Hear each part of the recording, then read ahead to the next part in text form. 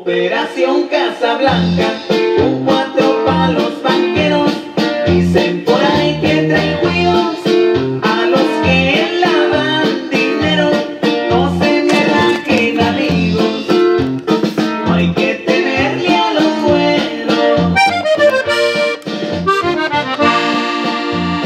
Eso